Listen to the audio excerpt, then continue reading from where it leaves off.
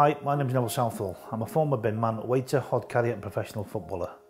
Joe have kindly invited me to send you this message at Christmas. I want to start by wishing you a very Merry Christmas, or whatever you choose to celebrate. Our diversity as a nation is something I'm proud of, and it's nice that most of us have time off to enjoy it in our own way. But if you're working, like the heroes that make up our precious and underfunded NHS, I've got nothing but respect for you. It's a great time of year for those lucky enough to have family and friends to share it with. But it's not fun for everyone. A lot of people are suffering from loneliness and depression. Some are remembering those they've lost. All I can say is that people that you can talk to, people who care, hopefully you can see some of the numbers at the bottom of the screen who can help. It's been a hard year all round. As we see, those in power tried their best to divide us and break us apart. What happened with the Grenfell Tower fire is a perfect example of the powers that be not caring about the little people. Scores of avoidable deaths and thousands of people trying to cope with the loss of their homes and loved ones, and have been forgotten. A phony inquiry will take ages and prove nothing, whilst people are still waiting to be rehoused. We have government who don't seem to care about us, so we have to care for each other. The fact that more and more people are forced to queue to feed their kids at food banks is a national disgrace.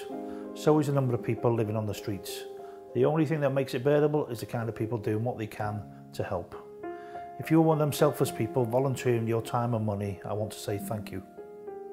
On a personal level, I've been using social media more and it's been an eye-opening experience. I've learned about the transgender community, inequality and minority issues.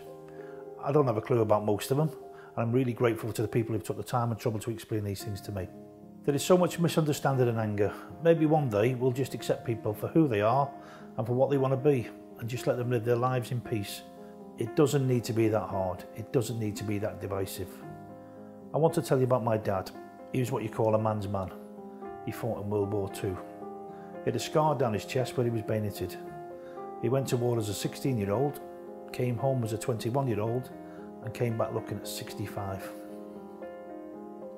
But this isn't about how strong men were then and what we lost.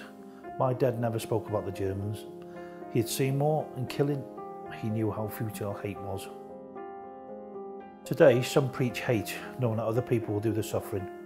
They talk about returning to the country to a different time, forgetting that the foundation of that time was humanity that they don't possess.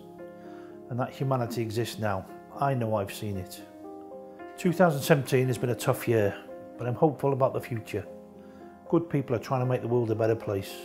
They're speaking out about things they care about and won't be silenced. Some bad people are getting what they deserve at last. Sometimes it takes a low point to realise what really matters and come back stronger. Here's to a better 2018. I hope you have a great one. Yes, even you Tories.